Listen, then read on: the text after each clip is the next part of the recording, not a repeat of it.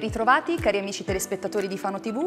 Oggi per l'approfondimento in studio vi portiamo in un piccolo borgo che nasce sulle colline nel comune di Sant'Ippolito, dove ogni anno la comunità del luogo lavora per portare avanti una tradizione gastronomica, una delle più longeve e genuine in terra marchigiana.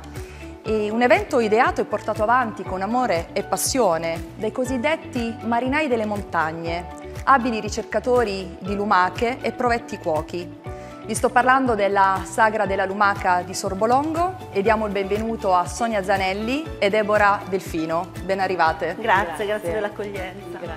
Sonia, chi va piano va sano e va lontano. Eh se n'è fatta di strada da quel 1972. Beh, se n'è fatta tanta, siamo partiti da piccoli numeri per poi adesso avere grandissimi numeri, parliamo di 1000-1500 persone nelle ultime edizioni e lo slow food comunque funziona, funziona, il nostro è veramente slow food perché chi va più lento della lumaca, no Esther?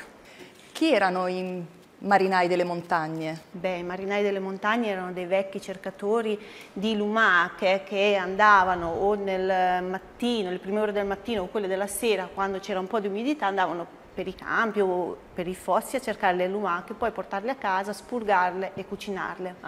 Ah Deborah può dire qualche nome? Sì, abbiamo un fondatore, eh, Cocci Marcello, e che poi subito dopo sono entrati eh, Paolo Traiani e Giulio Tomassini che ancora è proprio il motore della nostra macchina, è lui che ci coordina un pochino il tutto. La Sagra vuole promuovere il borgo, quanti abitanti stima Sorbolongo? Il borgo dentro le mura, quindi dentro il castello abbiamo dei 35-40 abitanti più o meno e intorno abbiamo sui 400-500 abitanti sparsi per tutta la campagna di Sorbolongo.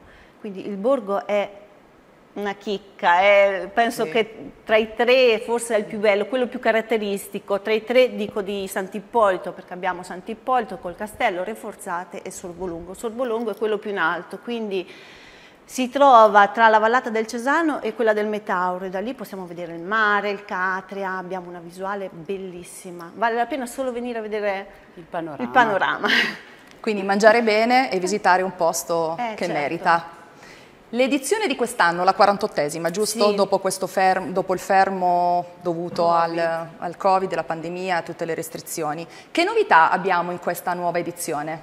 Beh, questa nuova edizione, oltre che facciamo l'inaugurazione del venerdì che non è mai stata fatta, inaugureremo la piazza e ci sarà anche un bel concerto e abbiamo un eh, piccolo concorso per bambini, quindi la riciclomaca, è un invito a creare delle lumache con materiale di riciclo, quindi un po' per far capire ai bambini che non, prima di buttare via una cosa si può realizzare qualcos'altro, quindi un riuso e queste sculture verranno esposte poi alla Sagra della Lumaca con il loro nome, ci saranno i nostri piccoli artisti che presen la presenteranno, penso. Ovvio, sì, sì, ne abbiamo già dai, diversi. Che già abbiamo un buon numero di iscrizioni, questa è la prima volta, quindi il prossimo anno contiamo in più presenze Sicuramente la Sagra della Lumaca attira persone da ogni, da ogni luogo. C'è un servizio di navetta disponibile anche quest'anno? Certo, c'è la navetta che percorre tutta la Mondaviese, quindi da San Giorgio fino a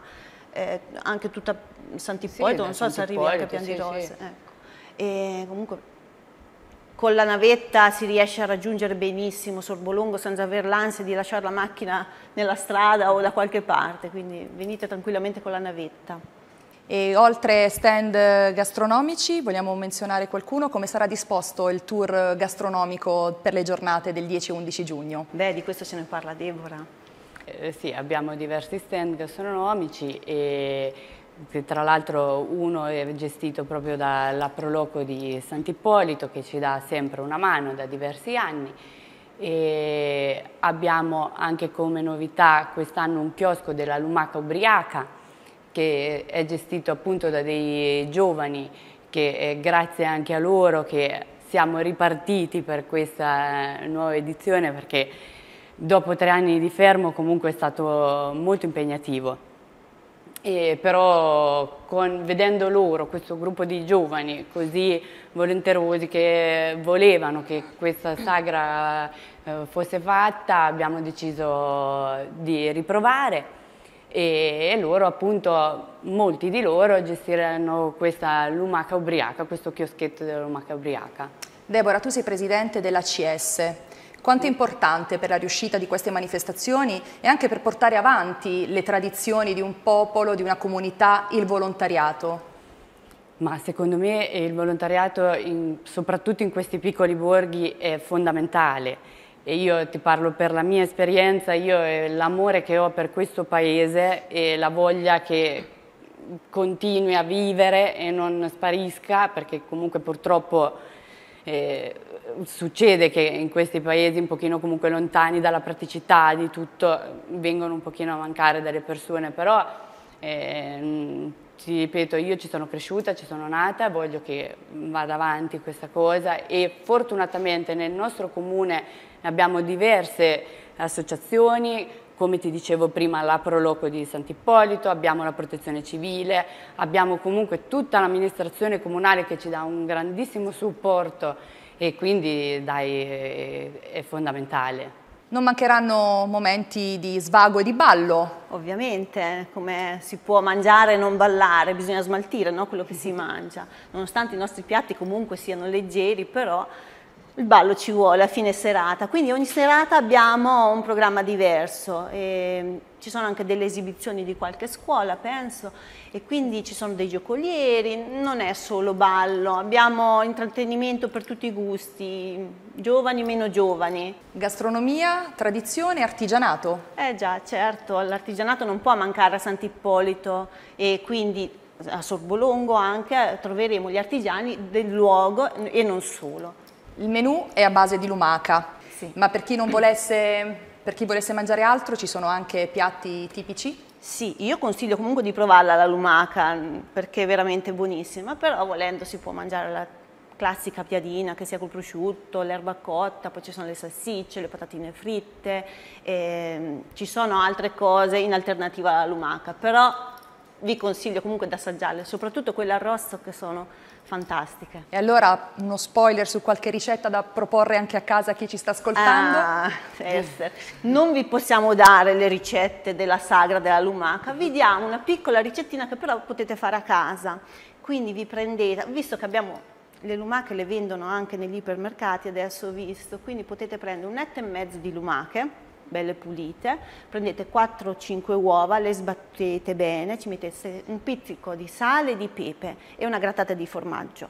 Unite il tutto e fate una bella frittata. Vedrete che impazzirete per questo piatto. Deborah, qualche altro consiglio per le cuoche che ci stanno seguendo? Beh, guarda, sono stata proprio il nostro piatto forte è la lumaca arrosto, ma le mie cuoche, le mie signore mi hanno detto non svelare assolutamente nessun segreto, quindi invitiamo tutti a venire alla sagra così potrete assaggiarle.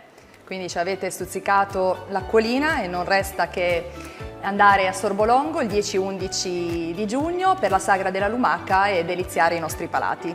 Un ringraziamento a Sonia e a Deborah. Grazie, grazie, grazie a voi. Grazie mille. Vi aspettiamo. Vi aspettiamo.